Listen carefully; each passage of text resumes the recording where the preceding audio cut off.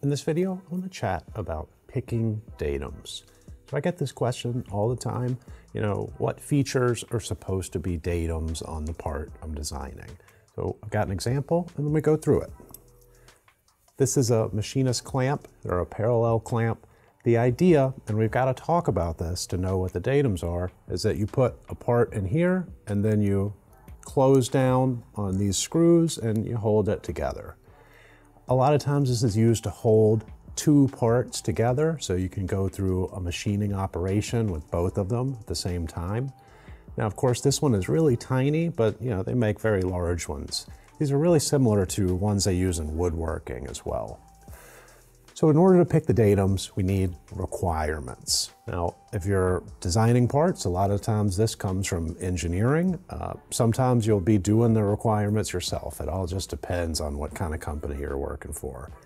Requirements can be very specific and, you know, like, you know, clearance of five thousandths, you know, maximum allowance, blah, blah, blah, or it can be more general. These are gonna be a little bit more general. What we want and I've got these giant ones to explain a little bit better, is for them to fit together and have very little variation. So when we're grabbing a part in the front of the jaws, we want this to be as flat as possible so it gets a good grip on whatever it's grabbing. Another thing we want is we don't want a lot of overbite with these two jaws, right? We want them to be pretty much even when it closes down on something. We want the jaws to be very parallel and not necessarily accurate to size, that'd be great too, so that when we put them on a table, right, we could put something else on top of it. So you might be grabbing this in a vise and you want it to be pretty square. Not as square as something like a one, two, three block, which has to be dimensionally accurate and very square. But as this was kind of a machine shop tool, you want to be able to trust that it's pretty accurate. So let's talk about how we'll achieve some of those things. Now the first thing on both of these parts, and I think everybody can agree with me on this, this surface right here is datum A. Okay, it's the largest surface. It's the surface that mates at assembly. It's where all our measurements should come from. Now, datum B is a little bit different. So we've established this is datum A. We need a plane that's 90 degrees to that. So it could be in this orientation, this orientation. A couple things that could be. We could choose this small plane right here.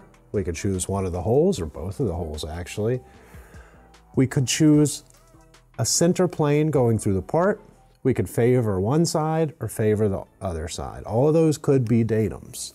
Now, in my opinion, for this part, I would choose a center plane datum going through the middle of the part that's developed by this plane and this plane.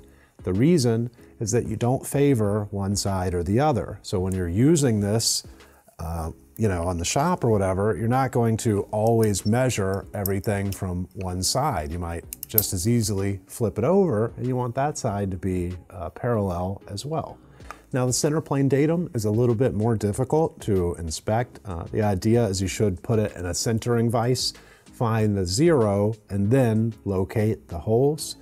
If it's both sides are very, very parallel, sometimes you can get away with just measuring from one side. Uh, it all just depends. But you want to put you know, the ideal thing on the drawing if possible so the inspection team can figure that out later. Now, datum C in order to locate the holes with the position, we're gonna need three datums for this part. The reason is that if we only had datum A and datum B, there's nothing to locate the holes in this direction. They'd be located in this direction, but not this direction. So we need some place on the part to measure the location of the holes from in that direction. It could be this rounded side. We could make that a datum target and make it a line. It could be the small plane in the front, or it could be one of the holes. Now, again, I would recommend choosing this plane right here. The reason being is that at assembly, you want these to line up, so it's a good place to measure from. So you're gonna measure the location of these holes from this surface right here. And that is our three datum setup. From that, we can establish position tolerances for all the holes. We could do a profile for you know, the rest of the surface of the part, and that would be our inspection setup. Essentially, our 000, X, Y, and Z would be this little corner right here, kind of going through the middle of the part. Makes sense because that's where all the action happens when you're actually using the tool, right? When you go to grab something with the tool, it's gonna be in this area, okay? Now, you could make an argument, well, why not use the two holes? If we look at these parts like so, you can see that the holes line up everything else in the part. So if the holes are good, you could, you could conceivably measure everything from there. And that is a valid technique, especially for this one that would have two threaded holes going through it. You could make that datum B and then measure everything from those. Essentially, in that case, the zero would be in between the two holes. Uh, that is a valid option. I would recommend that if the outside of the part mated to air. What I mean by that is that if it never had any requirement to do anything but exist. But we established in this part, when we put it on a table, we have orientation requirements. We want it to be, both sides to be more or less parallel. So I wouldn't recommend doing the two hole datum. The other problem with it, it's easy enough for this two threaded holes. This part is gonna have a clearance hole and then a blind hole for a pilot, so it'd be a little bit more difficult to inspect. Now, those are flat parts. We established our datum reference frame for those. We also have two uh, you know, threaded screws that goes through. Now, just real quick, one of them has a pilot to fit in here. That's what keeps the part from rotating like so, okay? And then the other one doesn't have a pilot, it just goes straight through. Both of them are gonna be dimension, or uh, have the same datums. This thread is gonna be datum A. It's what locates everything else on this part, right? When it threads in, because threads you know, center things automatically, it's gonna kind of find its own and you're gonna measure everything else from there. I can't, really can't think of any other really good way to do it. The only other option, you would make this you know, datum A, but you could establish the datum as the major diameter so that you could more easily put it in a V block and measure everything else from it. Now datum B, I can show this visually. Imagine we assemble this part, right? where does it go? Number one, it threads through the part. Number two, it touches right there.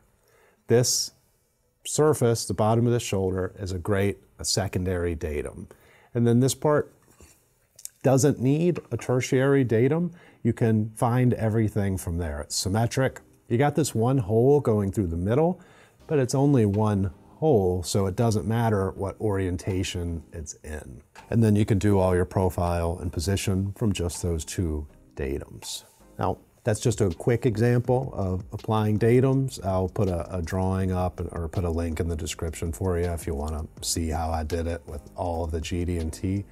Uh, it takes time to get used to putting datums on parts, but it's really important because it's where, one, your measurements are going to come from, and two, how the part gets set up to manufacture and inspect. So as you get more used to reading datum reference frames, you can see a lot of what the designer intends the part to do, at least how it mates at assembly. If you enjoyed the video, please like and subscribe. Uh, check out the channel for more of these videos coming soon.